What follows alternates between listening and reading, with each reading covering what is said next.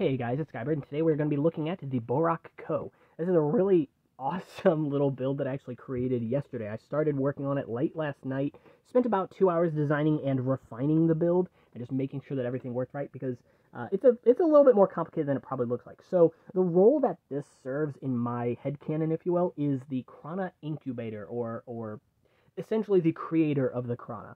And the idea is that these are little crawling Bohrok like tiers or subspecies uh, that don't really leave the hive that much. Like you might spot them outside, but um, essentially they just kind of crawl around within the hive, depositing Krana to the Bohrok that are already in the hive, or to the Bohrok Va, who can you know then obviously carry them out on the field and use them to revive uh, disabled Bohrok. So I just think this is such a neat little concept because the the Bohrok is probably my favorite uh, uh, like enemy class that the that the Bionicles ever really had, and so the fact that that was in 2002 is just like I don't know. It's such a cool thing. Anyway, um, so this does actually have a function built into it, which I think is super cool. It's not an offensive function, but I'll just go ahead and show it off real quick.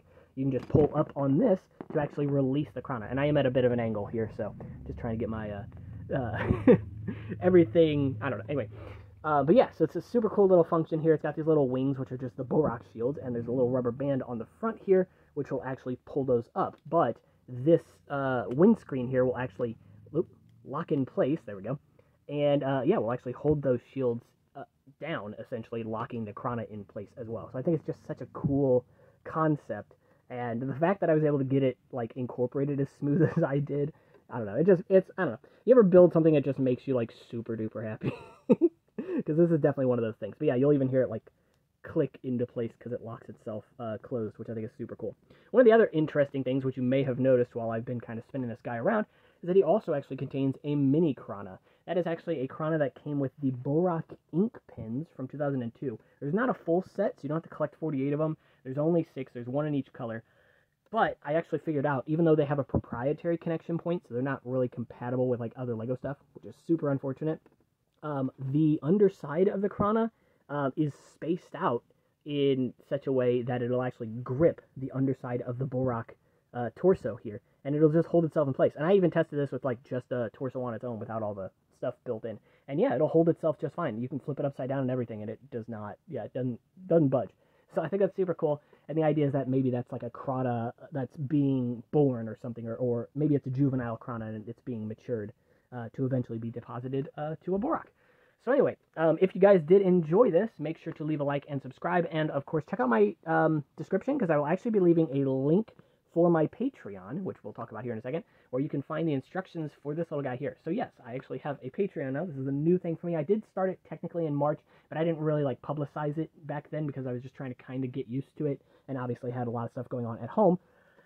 Um, but there you will find uh, a few tiers. A, a $1 tier will get you all of the instructions that I post there, so I'm not like, you know, locking them behind some sort of high price or anything like that. Um, but a $5 tier will also get you um, some extra perks. Each tier also has a specific role on my Discord server, which of course I will leave linked in the description as well. And the $10 tier, if you join that, will also get you the like full catalog of all of my Rahi, so it's 150 plus files, as well as like any three um, like CAD parts that I've designed. So I've designed some like other Bohrok shields and other pieces as well. You'll find those there. You'll find different like logos and things that I've been working on, renders and uh, non Bionicle Lego MOCs and Technic MOCs and stuff. So you'll find just all kinds of, all kinds of crap there, and I will leave that uh, link on my Patreon as well. So you guys will find it all there. I am new to all this, so this is definitely um, something that I want to get into more. I, you guys have probably noticed I've tried to be a little more active with um, you know YouTube. Obviously, I do have stuff going on at home, so I do always have to take care of that first. But